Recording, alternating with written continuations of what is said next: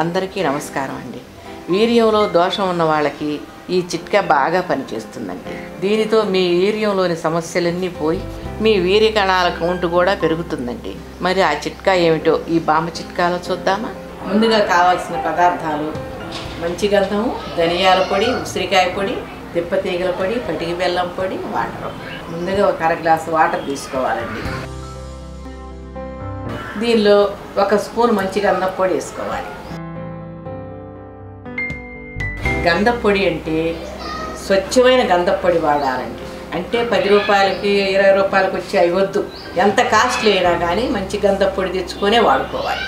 అలాగే ధనియాల పొడి కూడా ఒక స్పూన్ వేసుకుందామండి. ఒక స్పూన్ ఉసిరికాయల పొడి తిప్పతీగల పొడి కూడా ఒక స్పూన్ వేసుకుందాం. కటికి బెల్లం పొడి అన్నీ బాగా కలపాలండి. బాగా కలిసిపోయినాయి. ఇప్పుడు ఈ పొడులన్నిటిని కూడా రాత్రి పడుకునే ముందే నానబెట్టుకోవాలండి.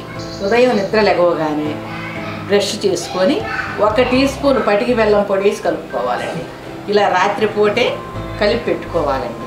తెల్లారి పొద్దున్నే లెగవంగానే బ్రష్ చేసుకొని ఈ వాటర్లో ఒక స్పూన్ కానీ రెండు స్పూన్లు కానీ పటికి బెల్లం పొడి వేసుకొని బాగా కలుపుకొని ఇట్ని తాగేయాలండి.